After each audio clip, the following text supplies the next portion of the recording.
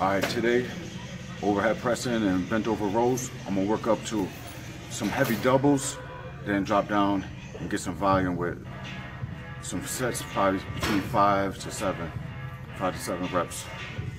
Going for like six sets total. Or also then bent over rows. With that, we're gonna stick with like 225, just see if we could get like six sets of eight, five sets of eight. All right, today, it's one of the more boring workouts of the week. There's no coffee involved. I use coffee strictly as a, a performance enhancer, so I only use it like two times, three times max a week. And on this workout right here, I don't really need it, so. And I do that because I want to build up a tolerance to it. I want to get the most out of it when I do use it. All right, well, without further ado, let's get to it. Got 135 on the bar.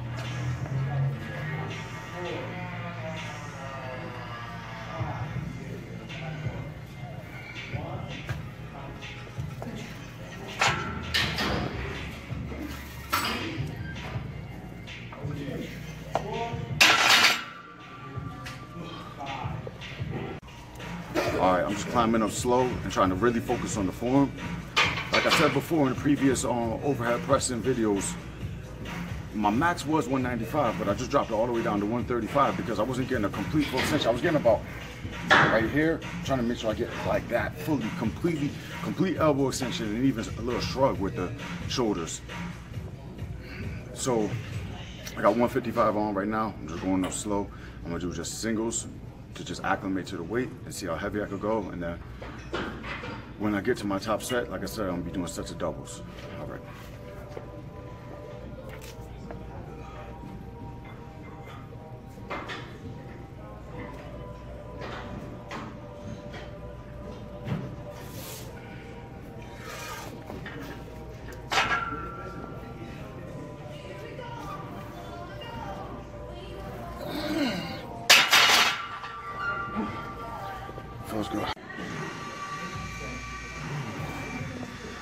Right, got 185 on the bar.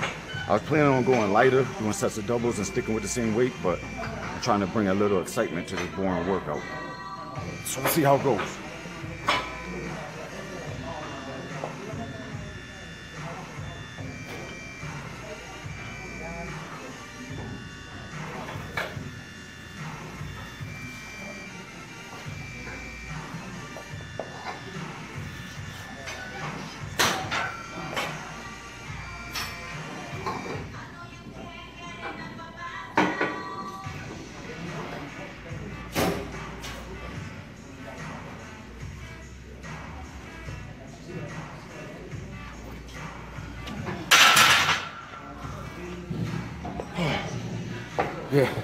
It's just about as hard as I expected. All right, so I just want to talk about the overhead press quickly. You know, and what are the keys?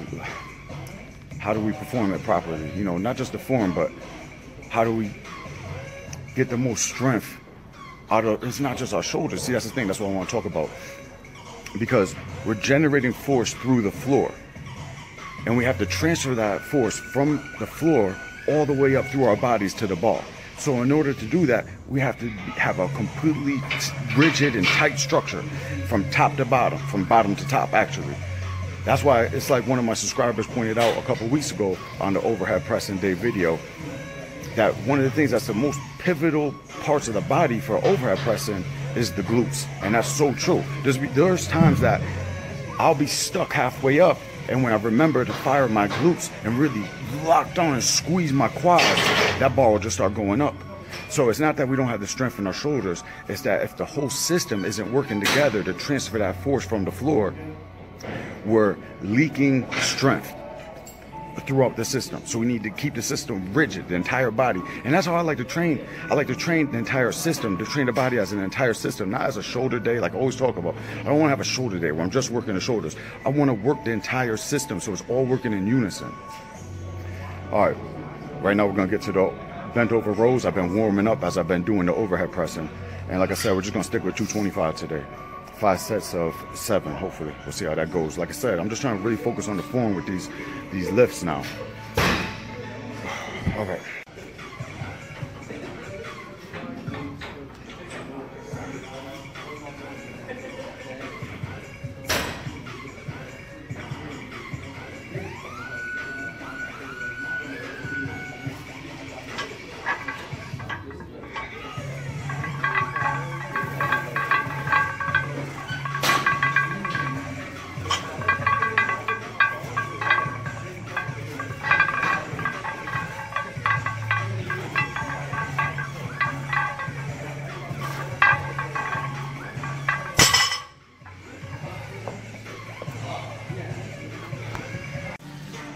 right, set of 185 took a lot out of me, so I'm just breaking it down to 155 and see if I get some sets of fives.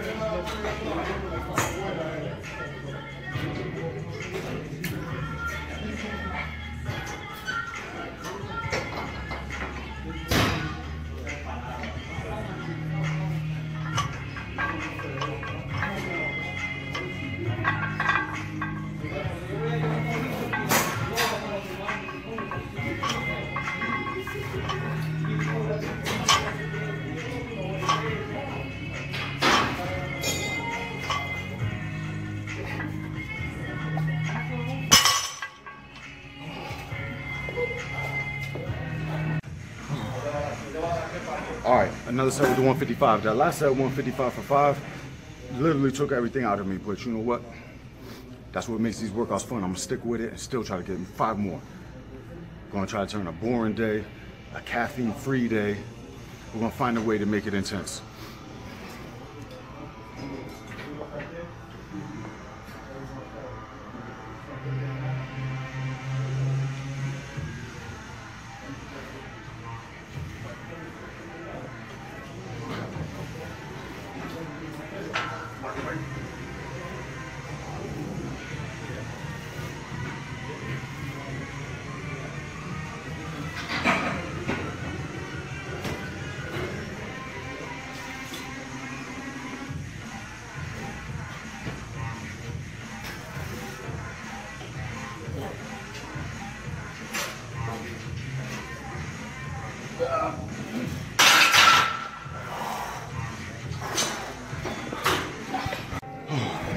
All right, I just want to address something. Now, you know, I call these lifts boring lifts. That's only because compared to lifts like squats, bench, and deadlift, you're not able to lift nearly as much weight.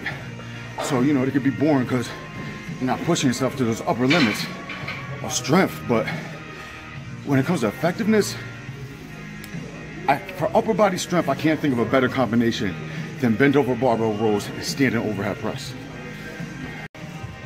All right, we're back down to 135, and we're gonna finish off with three sets of five.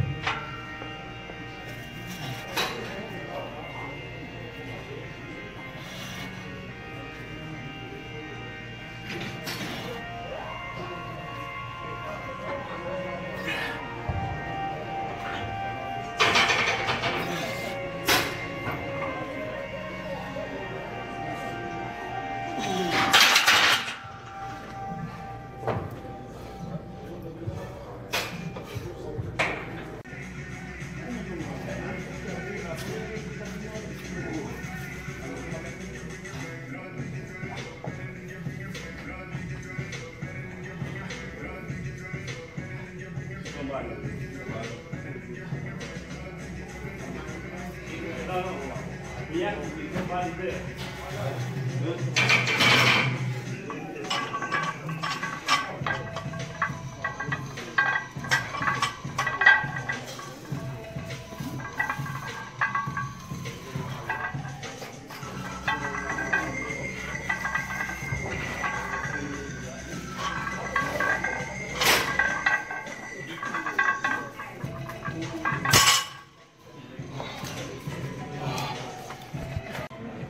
Man, I'm tired. I got two sets left of overhead press and one set left of bent over rows. I do not want to finish, but like I said, I didn't have coffee today. I'm pushing myself, but you know what? I'm getting a good, I'm getting good work. So I'm happy because I definitely didn't expect to go up to 185 today. That's that was not the plan, but I had, I knew that mentally I wasn't into it, so I had to find a way to stimulate myself to get myself into it. But I got myself into the workout, but I'm taking myself out of it in another aspect because I'm beat. So, but I'm gonna push myself. I'm gonna finish. I'm just gonna take nice long rest periods, and I'll finish it. Then after this, gotta go run three miles with my daughter. We're getting her ready for a 5K on Saturday. If you don't follow me, follow me on Instagram. Check me out. It's DW underscore training underscore and underscore nutrition. So DW training and nutrition, where every word is separated by an underscore. And I do updates on my life. You know, my daughter, us training for 5K. She's nine years old. I share nutritional things.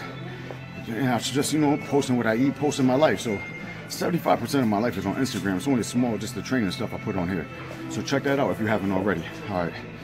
Just trying to get a break by talking to you guys because I don't got somebody in the gym to, to uh, procrastinate with. All right, let me get back to it.